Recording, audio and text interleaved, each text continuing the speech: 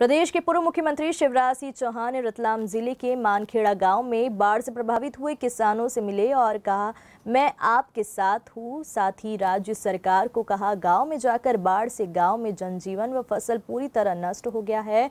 राहत का काम तेज़ी से चलाए। एनडीआरएफ की जो राशि राज्य सरकार के पास से, उसमें पिचहत्तर प्रतिशत केंद्र की राशि होती है। उससे किसानों को राहत देना शुरू करे।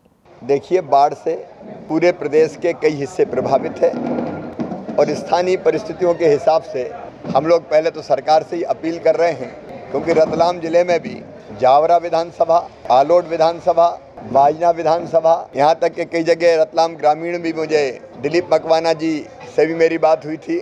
कई जगह बहुत नुकसान हुआ है। मैं मुख्यमंत्री था तो खुल के सहायता करता था।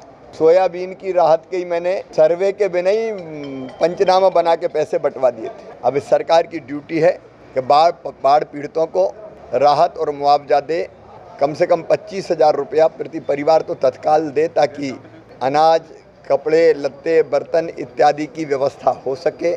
जो नुकसान हुआ उसका आकलन करके मुआवजा दे, उसके अतिरिक्त जिनके मकान गिर गए, उनके नए मकान बनवाए जाएँ।